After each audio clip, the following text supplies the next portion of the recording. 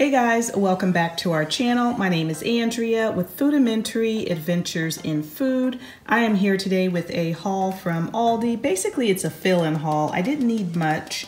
I spent $57 and some change, so let me jump right in.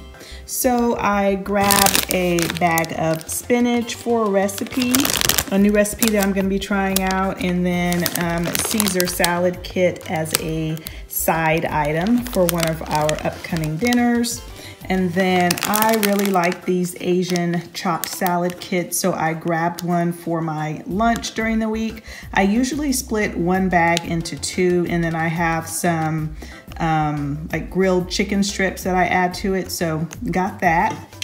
I have been wanting to try out their um, sparkling water because I love sparkling water, but I didn't want to get a big box of it because I wasn't sure if I was going to like it. So by the checkout stand, they had individual cans. So I grabbed a pineapple strawberry and a cherry lime. Sounded really good to me.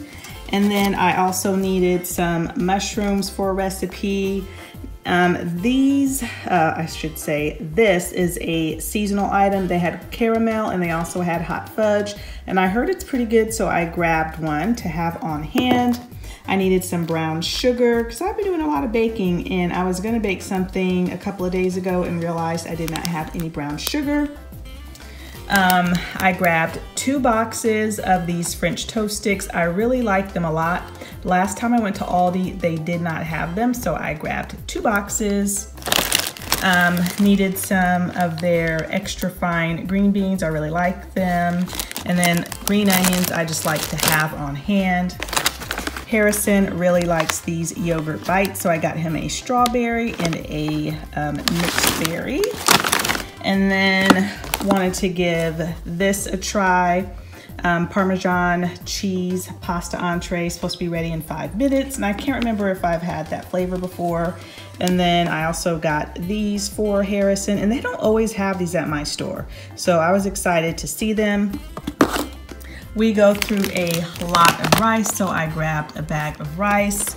I grabbed some broccoli florets, and then I used to buy these a lot, and I haven't bought them in a long time, and they I just decided to grab one just on impulse today. This is the very last box that they had.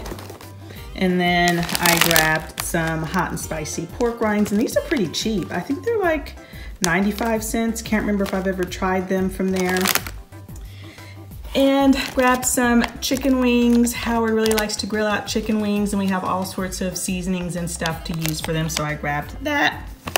Grabbed some um, rotisserie seasoned chicken breast and you get two packs in here, two pouches. And then I heard that these are really good. And I am not a artichoke fan, but I heard these are good. I wanted to give them a try. So grab that. And then I haven't bought one of their take and bake pizzas in a long time.